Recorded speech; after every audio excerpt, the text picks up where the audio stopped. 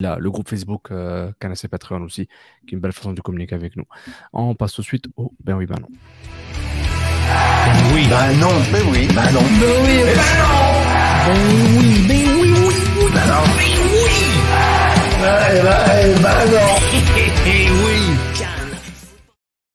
Et le premier non est présenté par notre sponsor La Forge du Malte. Merci pour leur support et merci de les aider, de les supporter. Euh, vous pouvez aller sur leur site web, les supporter sur Instagram, mais aussi ben, consommer leur bière si vous êtes amateur de bière et non pas des micro-bières comme a fait euh, Ré dans les commentaires. C'est une micro-brasserie qui font des bières tout court. C'est-tu des micro-bières? J'ai lu vos commentaires, mais j'ai rien dit. Là, là, L'Empire l'Empire hmm. contre-attaque. Euh, merci à la Forge du Malte pour cette première question. Microbrasserie. La Forge du Malte. La Comtesse. Une bière forgement charmante. La Forge du Malte. Désolé pour les fausses notes. Nous, on brasse la bière. Super pub la Forge du Malte, forgedumalte.com. Premier débat, euh, premier débat, non. Sonusi dans le 11 de départ contre les Red Bulls. Une surprise, ben oui, ben non. Ben oui. Ben oui. Ça va être unanime, hein? Ben oui. Ben oui, vous avez ben oui pour tout ben le oui. Ben oui. Est-ce que. Bon, je pense que. Je pense que pour le coach lui-même, c'était une surprise.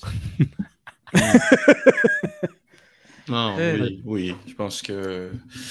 Écoute, on l'a dit au début, euh, ça va peut-être être un nouveau trend de la malaria titulaire, mais c'est, écoute, euh, je suis, il s'entraînait seul, mais de là à passer titulaire, ah, moi, moi, j'étais très surpris. Moi, les concepts, c'est moi qui suis fort avec ça. Moi, j'ai une sous-question. Peut-être que Sid, tu as la réponse. Est-ce qu'il y a un protocole, un règlement ou quelque chose qui explique, justifie euh, cette absence d'information, tout ce qui concerne blessure.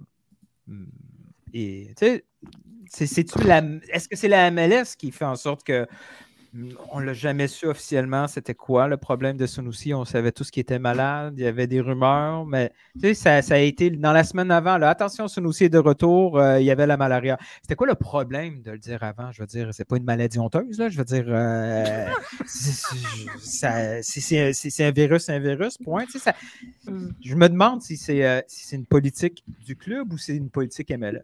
Moi, je pense que c'est. Alors, c'est pas une politique MLS, mais c'est une culture MLS. Donc, par exemple, par rapport aux informations que, que, New York donne euh, pour des, Red Bull, c'est toujours pas très clair non plus que tu.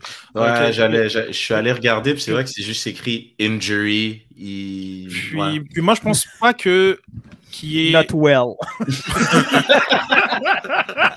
not well. je pense pas, je pense pas qu'il y ait une, qu'il y ait, une, une, politique de la MLS. Je pense qu'on est dans une culture parce que je crois qu'il n'y a pas non plus aussi beaucoup de, de, de, pression de la part des médias pour savoir, pour savoir ce, qui se passe, euh, pour, euh, pour dévoiler aussi les choses, les, choses qui se passent.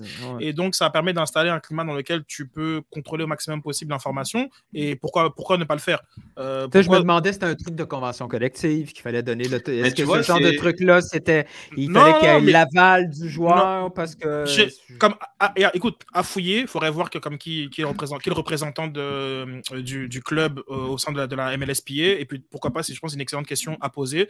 Mais ce que j'ai l'impression de voir, parce qu'il y a aussi d'autres euh, journalistes ou d'autres fanbases qui semblent être dans le flou dans, dans, dans, ce qui se passe d'un point de vue purement santé auprès de, des joueurs, j'ai l'impression que c'est plus une culture qu'autre chose. et, et maintenant, d'un point de vue d'un club, si tu veux contrôler l'information au maximum, c'est tout à fait, tout à fait normal.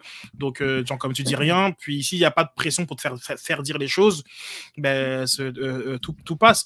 mais effectivement, c'est pas, c'est pas comme si, enfin, ouais, t'as raison, il y, avait rien de, y a rien de honteux. Mais c'est intéressant, surtout dans la mesure où, tu vois, comme depuis, je pense, en, en série éliminatoire au hockey, il y avait toujours ce côté, il est blessé au haut du corps. parce qu'il n'y avait pas de pression en série de donner cette info pour la seule et unique raison qu'un mec pouvait jouer blessé et on voulait pas qu'il prenne un coup à l'endroit où il est blessé parce que justement, ça a été dit dans les médias. Et ça, depuis dix ans, ils l'ont transposé en saison et là, tout le monde le fait. Quelqu'un est blessé, on voit qu'il s'est blessé un truc de dingue, ça va être au haut du corps ou au bas du corps pas plus que ça, pas plus d'infos en fait. C'est quoi la durée d'indisponibilité? Après, dans un sport où tu pourrais viser, enfin, où genre comme. C'est ça. ou le, C'est le- le- différent. voilà, au type de contact où parce que genre comme moi personnellement tu me dis où t'es blessé et je- j'ai le droit de te taper dessus Gloves are off. It's still anybody's game. C'est comme à la lutte, là. Si, t'arrives avec un bandage, là, oh, c'est sûr que tu vas recevoir un coup au Mais, bandage. mais, mais, tu sais, mais je rejoins par rapport à la culture. Sur Atlanta, ils ont lâché un communiqué pour euh, annoncer la chirurgie de Martinez, euh, Alonso qui était out, euh, puis euh, Rosetto. Ils avaient dit que là, bon, Martinez, c'est une chirurgie, donc c'était facile de le dire. Il est out là pour la saison, whatever, mais les autres, c'était beaucoup Ah, Martinez euh, est out pour la saison? Je, non, je là, croyais c'est- que c'est- c'était pas- Je pense que c'est 6-8 semaines. Je sais pas Ouais, si non, c'est une Ah, arthroscopie qu'il a eu. C'est pas les croisés comme il a eu avant. Excusez-moi, il a fait une arthroscopie sur le. Ouais. ouais. Arrête Donc, de donner des espoirs à tous. excusez-moi, le monde. que Le mon- turf, Puis, euh, ouais. Puis ben, Alonso Rosetto, ils avaient dit clairement, genre, le timeline, etc. Maintenant, est-ce qu'avoir une maladie, c'est peut-être dans le secret médical, peut-être, que je prends que les en charge, que j'ai le malaria, whatever, pff, je peux le comprendre. Mais oui, c'est... je rejoins c'est un peu une culture. Mais en parlant de Sonoussi, est-ce qu'on peut pas de Sonoussi sans parler des camarades maintenant? Maintenant que les gens reviennent, est-ce qu'on peut parler de tout autre attaquant de Montréal sans parler de Kakamara Parce que là, il, il commence à avoir des. euh, J'ai pas compris ta question, excuse-moi. bah, il, il comm- il- il commence à avoir du monde. Ok. Là, Kakam- Et- Kakamara, genre, il m'impressionne physiquement. C'est, il joue tous les matchs, il n'arrête pas. euh, je suis pas étonné par sa qualité, là, mais c'est impressionnant. Donc là, son outil, quand il joue, il joue euh, à droite, comme un, comme un ailier d'un 4-3-3. Je me demande, est-ce qu'on, quand on parle de son outil, est-ce que, en fait, de tout attaquant dont on parle, à part Kyoto, on se dit, ben, il va prendre la place de Kakamara. On a eu le débat la semaine dernière, est-ce que Kakamara Mhm. est là pour rester? Moi, j'avais dit, ben oui. Moi, je pense. Bah, tant mieux. Dans, dans le cas présent, pour euh, rester sur le ben oui, ben non, je pense qu'on faut surtout parler de Milevic, euh, qui lui était dans le groupe depuis le début de saison, qui a fait euh, trois ou quatre apparitions euh, sur, sur, sur cinq, et qui n'a pas été choisi pour remplacer To- Torres. Euh, donc, la- moi, la, sur- la surprise, elle a deux niveaux sur la présence de, de, de Sunusi. Pour moi, c'est un ben oui parce que ben, je m'attends pas du tout à ce qu'il soit là parce que Torres, euh, encore une fois, il a été titulaire peut-être quatre fois sur cinq. Donc tu te dis que c'est Torres qui va, qui va être là. Euh, il se blesse euh, vendredi. Moi, à titre personnel, j'étais pas, j'étais passé en entraînement jeudi, donc je le vois, il gambade, donc je me dis pas qu'il y, a un problème avec lui. Donc il est blessé la veille d'entraînement. Et ensuite, celui que j'estime dans l'ordre avec les attaquants qui sont à disposition, tout en sachant que pareil, un autre qui gambadait, c'était Kyoto. Donc là, y a, je je dirais même une triple surprise. Euh, mais après, à la, à la rigueur, Kyoto, on va dire peut-être que tu- ils avaient des, des statistiques avancées et qu'ils savaient que voilà, il fallait juste l'utiliser pendant une demi-heure. Je peux donner un, donner un bénéfice du doute. Euh, si c'est pas aussi peut-être une punition, là je fabule complètement, mais je pense que ça n'a pas plu à personne, euh, ni à la section hon- hondurienne, ni au CF Montréal, qui est parti chercher, euh, pre- prendre la Covid en déplacement. Donc, euh, parce qu'il y a Covid et Covid. ok mais là, après le troisième, ben, c'est Milevic. Puis moi, j'ai été surpris de ne pas avoir sur le terrain. Et puis je me demande qu'est-ce que ça signifie euh, qu'il n'a pas été titularisé donc, comme dans, ce- dans, dans- dans cas-là? Est-ce que c'est vraiment une question tactique? Parce qu'on voulait que Sunusi fasse du Torres et que peut-être dans le groupe, c'était le plus à même à faire du Torres, donc d'être sur le couloir, euh, d'être plus sur, la droite. Ou bien c'est parce que ben, si Milevic fait juste du Milevic, ben, c'est pas suffisant encore pour chercher une place de titulaire, à moins qu'il y ait vraiment euh, un match qui a été fait en milieu de semaine, comme, le, comme euh, sa titularisation à Orlando, il me semble, euh, qui était voilà, dû, à, dû au fait Mm. qu'il y avait la Ligue des Champions CONCACAF. Donc ma, ma, ma surprise par rapport à la titularisation de, de Sunusi Ibrahim, elle est là, euh, sur euh, les remplaçants potentiels. Moi, je sais même pas où est-ce qu'il jouerait, Milevic. C'est quoi son poste? Ça, c'est le gros problème. Je pense que le coach non Ah, plus n'a pas encore euh, trouvé son poste. Ouais, je Je pense vois, que c'est je ça vois le ses qualités, je vois ses qualités offensives. Lui, euh, le 30 derniers mètres, il peut dribbler, il peut déchaîner, enchaîner une frappe.